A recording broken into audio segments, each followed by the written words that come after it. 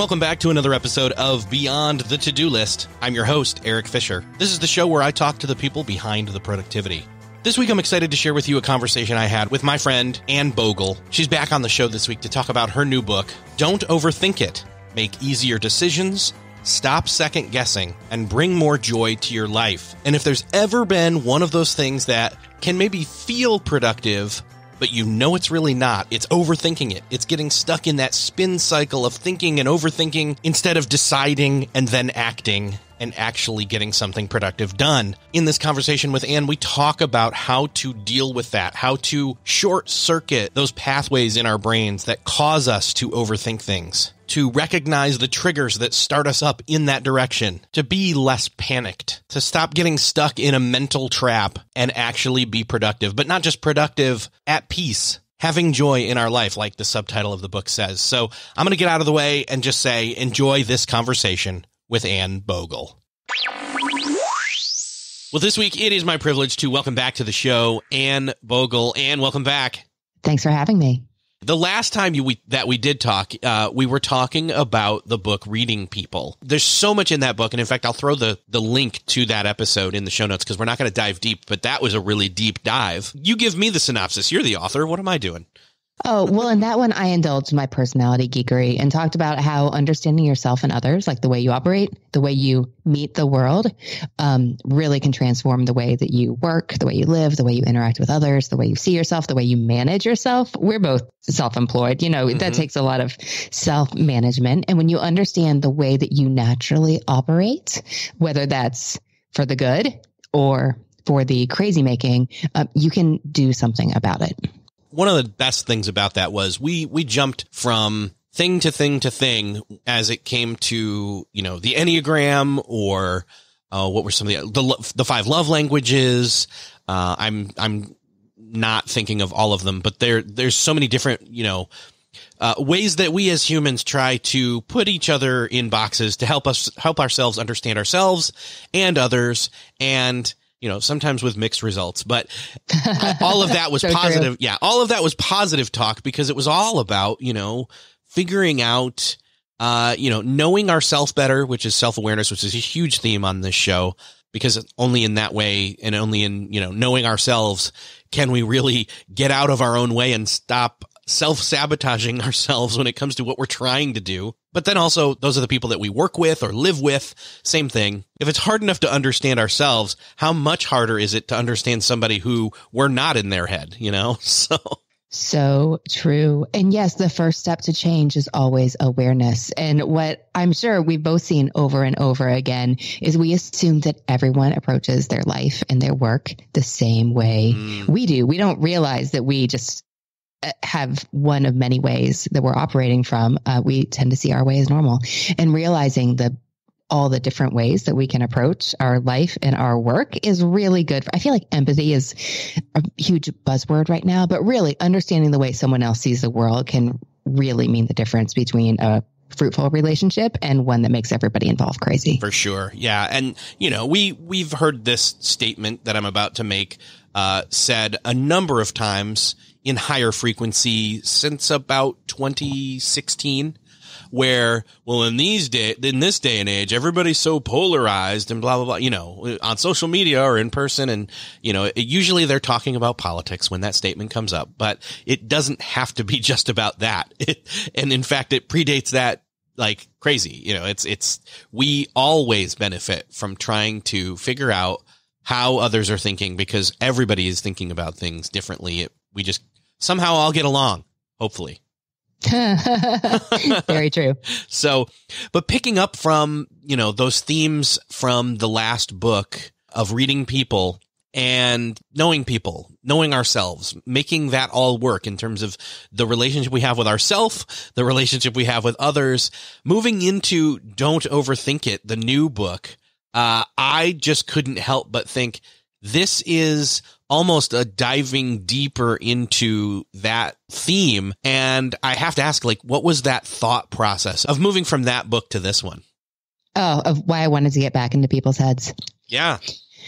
Well, Eric, I am a person in the world, and so many of my books are driven by the the issues that I think about that I'm compelled to understand or that I don't understand. And I want to write to figure out what I think. I mean, I got my public writing start as a blogger. And for a long time, I thought, oh, like I have this idea. I'm going to sit down and write what I know about it and then I'll finish the post. But what I realized, it took me years to realize this, was that I wrote to figure out what I thought, or I wrote to discover something I needed to know, not writing what I already knew. And that is certainly the case here. I had no idea how much I did not know about overthinking. But as a person in the world who is a recovering perfectionist, and uh, I'm sure not the best overthinker, like I don't know if I'm like metal level overthinker, but I certainly um, know my way around the three o'clock in the morning situation. Um, this is something I was just fascinated in. It's something I talked about with my friends. It's something I'd see in the media. And uh, it was something I was interested in exploring for my own sake. And then just through my years talking with readers um, on the blog and in real life, I knew that I was not the only one who suffered from this issue and would love to know what to do about it. As I was going through the book, I couldn't help but feel like this is one you hitting a real stride uh, in your writing first off. So oh, thanks. kudos there. And two i think again you were leaning into that almost public self therapy aspect of that authors kind of when they get into that it's like oh my gosh it's so relatable. You know it's not always the most fun to like tell your embarrassing stories on podcasts or in the pages of your book but it's I so appreciate it when other authors do that because when you can relate and when you can see how someone can put the information to work in their own life is different from yours as that may be, it really helps me see how I can do the same in mine. Yeah. I am curious and you know, you can dive in anywhere here that you want to, but I guess I should probably reveal the the full title. I said don't overthink it, but the rest of that title, the subtitle is or the full title is don't overthink it. Make easier decisions stop second guessing and bring more joy to your life. And, you know, those three things are definitely in the wheelhouse of topics we've maybe fringe covered on this show before, maybe not with specificity uh, in a single episode. So I am curious though, uh, overthinking can take on many different forms and, and I am an overthinker. I know that in the book you state that, you know, more women overthink than men, and there's research to back that up. But I am one of those men. So, oh, you are far from alone. yeah. Well, no, I, and, and I know that. I know that for sure. I know, I know another, I, I know another handful of, of men that I would say I, I throw in there. So, uh, over, overthinking it just it can take on so many different forms so i mean what are some of those forms that that it can take what are some of the forms that one you have experienced or that in the research for the book that you've come across that's a great question. And it's one that I would answer totally differently now than I would have a few years ago. Because in the course of researching the book, I mean, so spending a couple of years of your life deep diving the topic, um, I realized that overthinking was went a lot wider and a lot deeper than I had ever imagined. The current books that I could find that existed about this topic focused on one or two things, and that was rumination, which is when your mind keeps returning to the same thought. The origin of the word is kind of gross. It's like a cow returning to your cut. That's where the the rumination comes from, from the ruminants. Um, and there are books about that. And then worrying, which is where you're focused on negative thoughts and a specific thing that you are fearful will or is happening. But I really wanted to go broader than that because the other ways that overthinking um, infiltrates your life is we experience decision fatigue, which manifests as a general sense of overwhelm. And we experience analysis paralysis and second guessing. I was really surprised to find out in the course of researching this book how tied to overthinking perfectionism was. I did not see that connection before, but as someone who has struggled with perfectionism for much of my life, um, once I knew to look at my own experience through that lens, I could see everywhere how perfectionism drove overthinking. I also didn't perceive before the small ways that overthinking really affected my life on a day to day basis. Like if there was a change of plans, I would freeze. I had no idea how to be how to react to mm. something spontaneously in the moment. Um, I didn't realize how I slipped into overthinking when I was tired or hungry on a regular basis. Um, And I didn't realize how much my habits and my general productivity practices could hinder or hamper my own overthinking. It just went a lot deeper than I expected. And the, so the subtitle, which is really funny because we debated about that for ages, um, stop overwhelm was a big question. Like, can we do that? Can we use overwhelm as a noun? And it brought me joy to see that you have in your podcast um, episodes, mm-hmm. overwhelm as a noun. Mm-hmm. And it's an important topic to discuss here, but that's, that's the camp I was in. So it's yeah. been in common usage since like 1957. So you are good. Not like you needed me to tell you that. But but we know that overthinking is when your thoughts are repetitive, unhealthy, and unhelpful. Your brain is working hard, you're accomplishing nothing. Like we know the negative part of overthinking. But what I really wanted to focus on was not just how overthinking it, at the very best is neutral and at the worst makes us completely miserable. But I wanted to focus on not only how we tend to think our way out of or into the bad stuff, but we can think our way into the good stuff. Because what I found so much was that I don't know if you relate to this as a man. I don't expect you to speak for all men everywhere, but I know that when I talk with women about how we can really think ourselves out of happiness on a regular basis, like you can see every room or every head in the room nodding. And I really wanted to focus on how we could think our way into good things, not just cut loose the negative, but also really embrace the positive. One of the things that struck me was this idea that overthinking is very similar because it's all up in your head. Although it can, it definitely involves your emotions too. Let's not, I don't want to downplay that and just say it's all a head game. No, it's your thoughts and your feelings together spiraling in one direction, which is usually not positive. Um, and what's crazy about that is in there's a similar thing that goes on in the productivity world where a flurry of thoughts and feelings towards something doesn't necessarily mean you're working on something or getting anything done. It can feel like, like, I mean, we, often the term is busy work, um, or, you know, when, especially for people who are doing knowledge work, you know, where it's numbers or it's looking at screens all the time, that it feels like in at the end of the day, like what did I accomplish? And and that is a similar feeling slash thought process that you get caught up in when we're talking about overthinking. Right. In both cases, you feel like you're on that hamster wheel. Yes, exactly. You're, you're, running fast, but you are going nowhere. Yes. And so then one of the best ways that I have found, and we're going to get to this when we talk about deciding what matters, is to kind of allow yourself to do some overthinking, but do it ahead of time in a certain vein so that you've got basically a framework to hold things, you know, to hold up against when decisions come up or when things uh, break or suddenly change and you've got to be flexible and last minute decisions need to happen and you're like well no wait i can't i can't make last minute decisions. I've got to gather more information. I need to know like and it's got to be perfect. And so if it's not what i planned on you you see what i'm saying? I, i'm spiraling well, yeah, now. like six overthinking triggers right, right exactly exactly yeah, it's got to happen now. It's got to be perfect. I don't have the information. I got to find out more. Yeah and, and, and actually, so this is a great place to, to insert this thought uh, or question. How can you know then if somebody's listening to this? Well,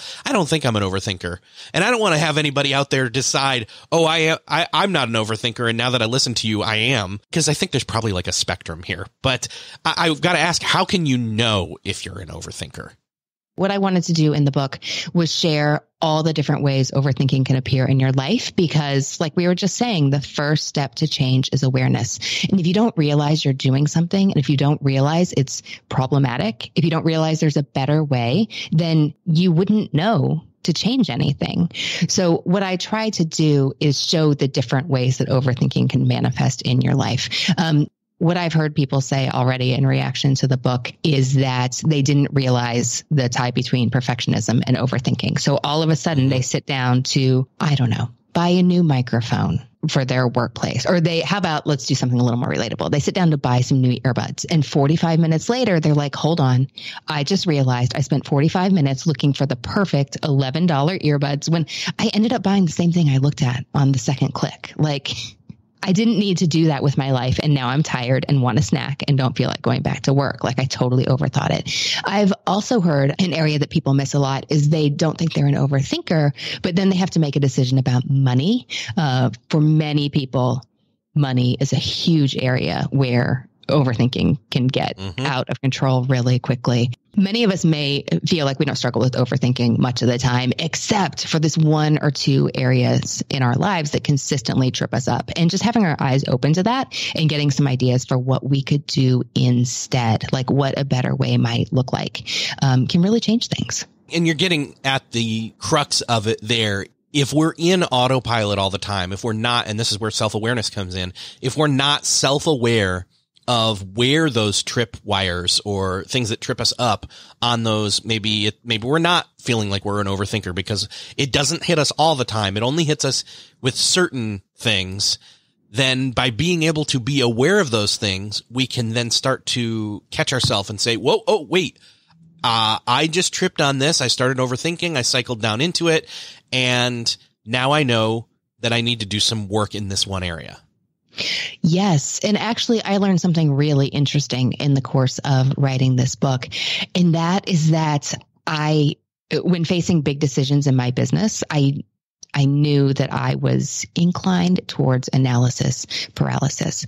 But what really opened my eyes to how I was inviting overthinking into my life, like actively making things harder on myself, was when a wise person pointed out to me that I am intellectually curious. And just because I enjoy it, I tend to look for more information and more information when I'm facing a decision, uh, maybe a decision about my business. This has certainly happened time and again in the last couple of years, although I'm doing better these days now that I know. But because I enjoy learning things and I think our field is interesting, I'd seek information far beyond the point where it was helpful to me. I was just pursuing knowledge for the sake of knowledge, which meant that it was time to make a decision. I had so many more variables to consider. I had so many more facts to take into account. And some decisions require serious, in-depth, long-term consideration.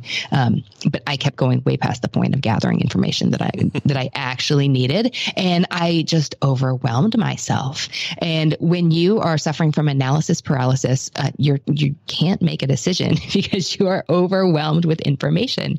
Um, and when you're overwhelmed, you can't decide anything. So just realizing that I brought this information overload on myself, and that was completely unnecessary, but also of my own own doing. Let me choose a better way. And now it's much easier to make decisions in my work because I don't do that anymore now that I know that it's hampering me.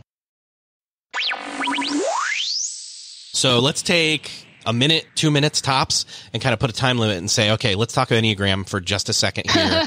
because I know you're a nine, but I'm a five, and fives are all about gathering and hoarding information. So imagine how it is for me when it comes to making a decision.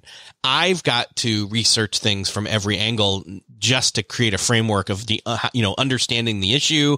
And, you know, uh, before I can even start to say, well, now I'm in decision making mode. I'm not in decision making mode until, you know, I've thoroughly laid context for everything. Well, okay, first of all, it's not overthinking if you're giving it the amount of thought you want to, whatever that looks oh, like. That's good. That's good. Okay, say that again. It's not overthinking if you're giving it the amount of thought you want to. In in the process of discussing the contents of this book, there was someone on my team who kept saying, "No, there are some things that you want to overthink because they're really important. Like if you're going to get married or if you're going to buy a house or if you're going to change jobs." And I'd say, "No, no, no, no, no. It's not overthinking if you're giving it the amount of thought you want to, it, even if you're thinking about it really hard for a really long time. Um, if my friend buying the earbuds thoroughly enjoyed as a recreational activity, perusing all the options of headphones available today. I'm thinking of my uncle who loved to take radios apart as a kid because he liked seeing uh, what things looked like from the inside, you know, just fascinated with technology. If that's you, go to town, but that does not apply to most of us. So Eric, if you enjoy building these frameworks, if you feel like you need them to make good decisions, have at it. But the question for you, type five would be to what end am I doing this? Mm, man. And again, going back to knowledge work, like it, it's all about, again, you just basically chop the word over off thinking, the overthinking. Uh, is it one word? Now I'm, I've got to take a look here. It's not well, I think it's one word. I think it's one word. Yeah. So you basically chopped the partial, well, overs, over and thinking are both words in and of themselves. Let's put it that way. But when you put them together, you get overthink. But you chopped them, you separated them. Let's put it that way. And that's, I think, the thing that would cause a lot of people to say, I'm not an overthinker because I'm not always an overthinker. Well, I define overthinking as engaging in thoughts that are repetitive, unhealthy, and mm-hmm. unhelpful. They do not have to be all three at the t- same time. But if your brain is working really hard, but you're not accomplishing anything, that is overthinking. Yes, it's it's the it's like how the word habit is positive and negative. Mm-hmm. you know, yes, it is. So it's it's kind of a you know, and, and that's I mean, in in so many ways, that's similar to what we're talking about here. Is again, it can be a good thing to be intellectually curious. It can be a bad thing if that is uh, a procrastinating um, method for you. Yes. And that is how overthinking can be so insidious. Like we just said that pursuing more information is good until it's bad. I mean, that's sneaky. And it's the knowing when it's bad that takes individual self awareness. Mm-hmm. Well, and the good thing is that it comes with practice. Mm-hmm. Okay, I want to go back to something you said earlier. You mentioned just going through life on autopilot. And something I really found in avoiding overthinking was that having areas in our lives where we can click into autopilot mode can help us conserve conserve our limited mental energy um, for the things that really matter because our mental energy is not a limitless resource. We only have so much to spend each day and how we choose to spend it matters. Do you want to spend 45 minutes of it on those earbuds? And yet at the same time, we don't want to be on autopilot when we should be you know, awake. This sounds so tricky, but what I found yeah. is that when once you have the awareness of what overthinking could look like in your life, and you tune into your own behaviors, you kind of watch yourself going through your day, um, it becomes clear real quickly uh, what what habits are serving you well and which ones are just undermining you. Yeah, I was going to say you can do something about it. Yeah, this is exactly again where habits, positive habits, and routines uh, come into play in terms of building a scaffolding uh, at first, and then a structure to where you are not doing it all on your own willpower uh, again, and most of the time people are talking about habits as if it's like getting to the gym or it's, it's weight loss or it's, uh, you know, physical health related or mental health related, not mental health related, but yeah, I guess that's some of them, but just that are, this, again, that the, the realm that we're talking about right now, thinking, our thoughts, the way we look at things, our perspective on things, that is less of a place where someone's going to say make a habit, but it's definitely a place where having habits in place and alleviating the mental stress, the emotional stress, the uh, cognitive stress even is going to allow you then to move past when information overload comes up or analysis paralysis when that flares up or could in the past, I should say. Yes. And over time, um, just one small step at a time, we really do establish new mental habits, new patterns of thought, really. Because every time in your life that you engage in a repetitive thought or a fearful thought or an unhealthy thought, you strengthen the neural circuits that made that thought possible. And it's easier to go there next time. But you can roll that back every time you replace one of those thought patterns with something um, a little more helpful to your poor overtaxed mind, it'll be a little easier to go down that path next time. So really over time, the way your mind works can change. Perfectionism you mentioned that oh, earlier, and, and yeah. that is that is you know again that's one that you really had to come to grips with. I mean, h- how did you? I mean, I, I'm I'm I'm hearing that the answer is step by step and over time. But other than that, simple answer: is there anything else you want to add to how you move past that? The first step is really perceiving the ways that perfectionism has infiltrated your thought life, if you relate to that, and the ripple effects it has there, like indecision, irritability, and that analysis paralysis you mentioned. Because if you don't realize that perfectionism is affecting the way you live your life, it can exert so much control over your behavior, and you have no defenses. I found that when you identify it, and call it what it is, it really deprives it of its power. So if you do find that you are regularly procrastinating or feel like you need to find the very best answer before you move forward, um, if you struggle with completing a project because there's always more you can do, if you see that your eye goes straight to the imperfections of something and not what you mostly did a pretty great job on, um, or if you're a frequent second guesser, like I really didn't understand before the connection between um, regret and second guessing and perfectionism um, once you understand the connection and you can see how those tendencies fuel overthinking, um, it's so much easier to let that go. But also, I would say that embracing a spirit of experimentation, which is very easy for some business owners because it's what they do. I mean, my husband used to work at a software company where they embraced the iterative iterative, I can't say that word, where they embrace the iterative approach. They didn't want to create a perfect version of anything the first time because it takes a lot of time and energy and money to make something perfect. So first you have to figure out if it's worth doing perfectly. So you engage in an experiment, you see how it goes, you adjust accordingly, and you move on being able to look at my own life and the decisions I make, whether that's in my personal life or my business or whatever, and think, let's just try it and see what happens. Like any outcome I get is data. Like this is just an experiment. It's, it's not a huge deal. It really helps you lower the stakes. And when you don't feel so much pressure, you really can make better decisions and you're free to move forward. If you're just trying an experiment, there's no analysis paralysis because you don't have to get it right. You just have to see what happens next. So much easier. And it's such a less stressful way to live. Well, and, and it also also kind of lets you indulge the analysis a little bit because you're doing an experiment. Exactly. And it lets you, it, it gives you a kind of critical distance that lets you see the topic at hand in a slightly different way. I want to pivot here, and I've, I've kind of alluded to this twice before. Allowing yourself to do long thinking or over, you know, I'm trying to think of what the best way to put this is, is just thinking a lot about something without overthinking it ahead of time allows you to uh, land on what is it that matters most to you, your values.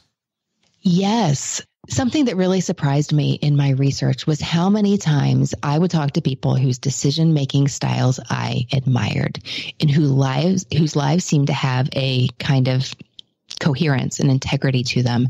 I was shocked by how many times they use the word values or values driven when they describe their decision making process. And this is something that I have changed the most in my own life after writing this book.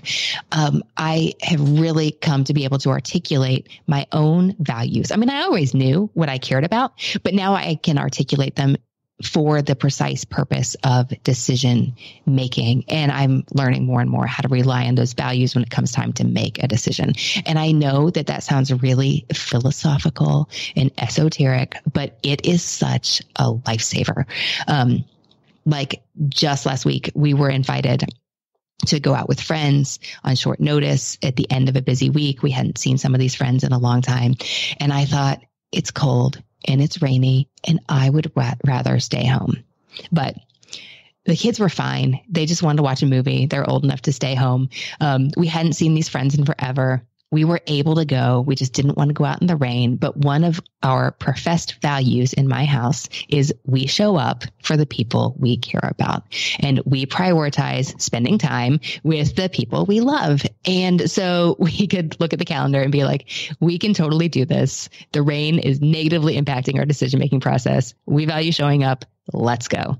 And we did. And we were so glad we did. But that's the kind of decision that a couple years ago I would have just tortured myself going, I really don't want to go out in the rain, but I kind of want to see them mostly, but I really don't want to go out in the rain. And I just look at those two facts and just get stuck, which sounds silly, but that didn't realizing it was silly didn't help me think my way out of it. You know, I just finally flip a coin at the end of an hour of deliberating and do something, which actually sometimes just pick something is an amazing strategy for cutting through analysis oh, paralysis. Yeah, yeah t- totally. If you, if you don't have something, you know, if you don't have a, some sort of values, pre- predetermined, sat down, thought through decision making rubric that, uh, you've crafted or created according to your values, uh, you know, if you don't have something like that, heck, even if you do, sometimes it's random. It's last minute you need to not think about it too hard. You just need to say yes or no because neither way, uh, you, you need to be able to say yes and do the thing without regret.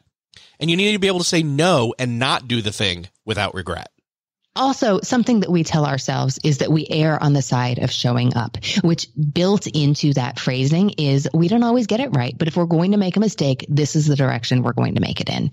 And that's so I mean, it just really frees us up to be like, eh, we won't always get it right, but if we follow this plan that we already decided about in advance, then most of the time we'll be happy with the outcome. Yeah, man.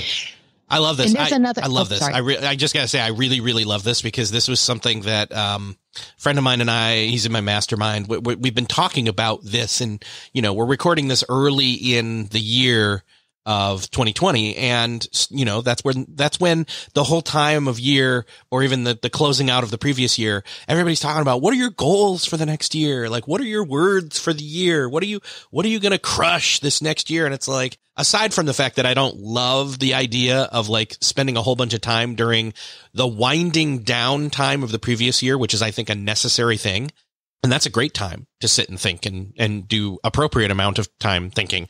But uh, just this whole setting something up or checking in on or even creating new values or revisiting the values you already have is a great place to be able to then say i now have what my lens for the year is so that like for example what you're saying err on the side of showing up. So this is a, you know not that you have to name it the year of showing up or anything like mm-hmm. that but you know you know there's somebody out there who's like oh, no this is the year this is the year of showing up. And i'm not knocking them. Sorry. There's just so many people that talk like this. We're in the online space so it's kind of it's kind of easy to say that's that kind of stuff but it, it's not wrong. You can you can say no now moving forward i'm you know that is one of our values was to err on the side of showing up. We're going to show up more is kind of the intent there uh, moving forward.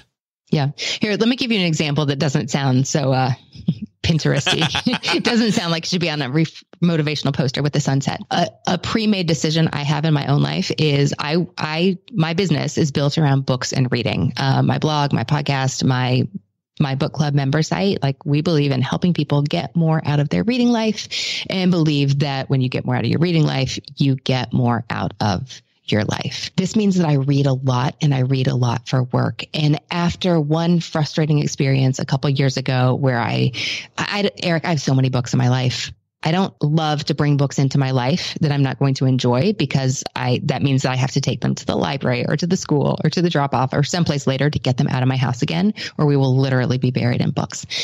But after waiting on a library book and waiting on a library book and reading something at the last minute all in a rush and realizing it was the perfect book, but I could have found this out three months ago if I just bought it, I decided that if I need a book for my work, then I am just going to buy it. Like I am a miser by nature. I don't like to spend money unnecessarily. Um, but financially, this is something that my business can afford. It makes sense. Like books are what we do. And I decided that if I need a book for work, I do not overthink it anymore. I just buy it. And I buy it at my local bookstore if they have it. And if I have time to wait, then I'll have them bring it in. And if I don't have time to wait for whatever reason, I'll buy it online. So I know where I'm going to get it and I know that I'm going to buy it. And I can't tell you how much overthinking that has saved me in, in my business. So, you know, and I know that oftentimes when we use the word value or values, we're talking about like, it, it's got, it's a heavy word. It's a very, you know, lots of lots of meaning is is yeah, uh, you know, behind that word. You're and not I think ta- that can scare people. Yeah, yeah, and and what you just described was it's a value in terms of time and financial, which are two really also heavy things time especially with with productivity financially we've touched on a little bit on this show before um but you didn't you didn't like make it some I don't know, like it's some like one of the 10 commandments in other words. It doesn't have to carry that weight when you make, you know, a quote I mean, I'm not, I'm hesitating to use the word rule, but it's the closest, it's the closest to what I have to start with in terms of decision making rules, but it's not. It's, it's more, uh, again, these are, this is the, gosh, the, the decision making guidelines, I guess, or, you know, my pre thought decision, my, my already pre thought decision Right. Well, and something own. something I discovered that is no surprise to your listeners, but uh, it, the implications are enormous. Is that making these decisions ahead of time can save so much enter- mental energy, so that you have it available to think about the things that require thought that really matters.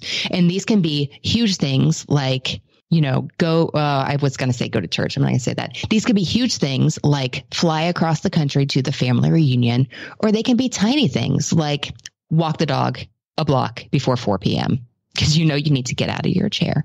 Um, so they can be they can be these really lofty, deep, important values, but they can also be really practical like go up five flights of stairs a day. Oh, that's a terrible example for overthinking. Cut me, cut me off at practical. well, it, it, the practical, it, here's the thing. What you just described is again, going back to where habits fit into this is again in talking with my mastermind about this very topic, which was why I loved that this was kind of near the end of the book and the landing place somewhat of uh, where the book was going in the end. I was really encouraged to see that a lot of what has been going on in my own head and in the conversations that I've been having with my mastermind was where this book was kind of landing, which is, and we've even echoed it here on this conversation, has been this idea that it's not a bad thing to think a lot. The appropriate amount of time that's thinking is not overthinking. If it's the appropriate amount of time, it's that it's what you said earlier, and I, I wish you actually, if you can say it again right now, it's kind of a mantra for the show. Yeah, yes. it's not overthinking. If you're giving it the amount of thought you want to, that's that's it. fine. That's it. You know, I keep, I love Annie Dillard, the writer, and she wrote in one of her essays about the writing life. Actually, how we spend our days is, of course, how we spend our lives. What we do with this hour and that one is what we are doing. So I like that because it addresses not only the harmfulness of something like rumination, which nobody enjoys that. That is unhealthy, unhelpful. It makes you feel miserable. But overthinking also carries this opportunity cost. And we only have so much time to think each day and how we choose to spend it matters. So if what you're thinking about is what you want to be thinking about for this moment in your life, then that is absolutely fantastic. Nobody should tell you not to. But when you spend your time thinking about things you don't want to be thinking about, that is what you're doing with your life. And I mean, I hope for better for you than to feel like you're stuck thinking about the things you don't want to think about. Because not only does it make you miserable in the moment, it's at the expense of everything else you could be doing, you could be thinking about instead. And again, uh, the overthinking, the the spinning of your wheels unintentionally drains you to where you don't have this you don't have the energy to think or act on the things that you want to think and act on. And in fact, that's where, that's where I was going was this is such a tie in to what we were talking about earlier with habits is that now if you take the time, I mean, this is, this is retreat worthy right here, personal or otherwise, to go and take some time and sit and think on purpose, the appropriate amount of time to decide you know, where are the things that I've bumped up against recently? Where have been those trip ups? And where are those places that I need to create a value, but then not only create a value, but create maybe a tiny little cheat or habit or something that then is on autopilot in a good way to where you're not draining yourself and fighting against yourself or others to make that value live out in your life. And then suddenly you've disabled and disconnected the wiring on so many of the triggers that spin you off into the direction you shouldn't be thinking about. Yes, that's so true. And in the book, I talk about how to fact check your values, is what I call it. Because um, a lot of times, okay, I, I do books and reading.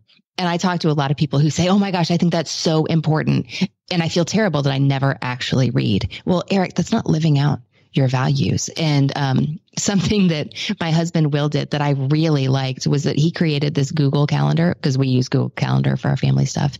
And we say that we value showing up for the arts in our community. They're showing up again.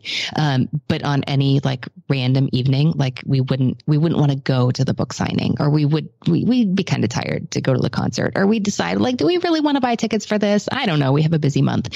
Um, so he created this arts calendar where you can, it's purple and you can load the calendar and see at a glance how much purple there is or isn't. And that's just, that's a very concrete, practical, visual example. But there there are ways to look at your own life and say do i just say i value these things or am i actually living that out um, and if you're not living that out something should change either your your values are different than you thought and if you can articulate those then you will be able to purposefully live those out more clearly or there's a gap between what you value and what you're actually doing. And the better your calendar reflects your priorities, the happier you're going to be, but also the easier it is to make decisions. Because that's really the genius there. When your actions are consistent with what's happening in your head, it's just so much easier to make decisions.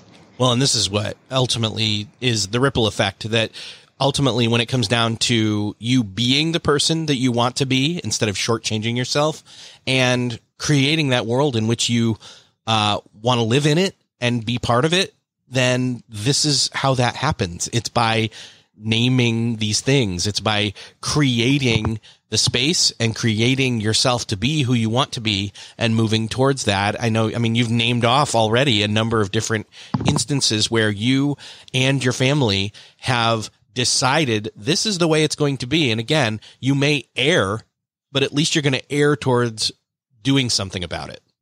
Yeah. And that's been so helpful. Um, cause you've got the pre decision, you've got the, the space to screw up. You've got the spirit of experimentation.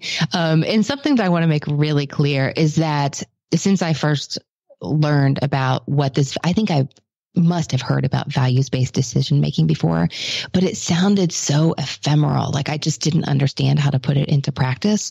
But, um, little by little, seriously, tiny step by tiny step, um, it, it comes into focus and it is so much easier to make decisions when when you get there. But it's not like what it's not like everything clicks into place in an instant. It's just small step by small steps. But each small step feels really good. So once you start on that journey i think it's really self-enforcing because you feel the benefits.